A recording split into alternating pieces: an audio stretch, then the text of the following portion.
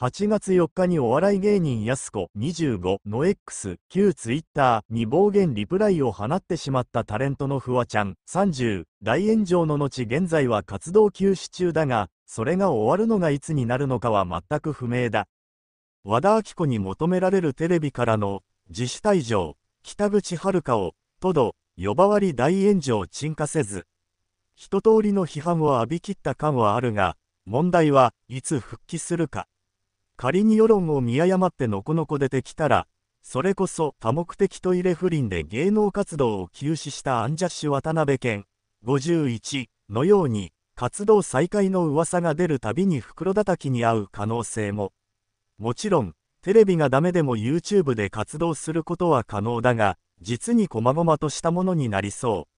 う。もはや八方塞がりにも思えるが、フワちゃんにはまだ起死回生の一手があるという。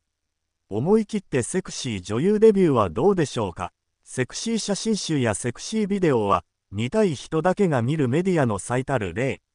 フワちゃんが芸能活動を再開するにあたって一番浴びそうな批判は芸能活動をしたらテレビに出てきて見たくない人の目にも入るじゃないか。という批判ですがそれも見事に回避できます。